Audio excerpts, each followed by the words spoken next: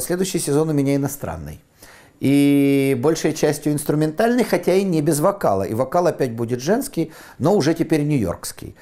А так вообще следующий сезон у меня посвящен трем странам – Франции, Голландии и США. И это то, что к вам сюда собирается приехать.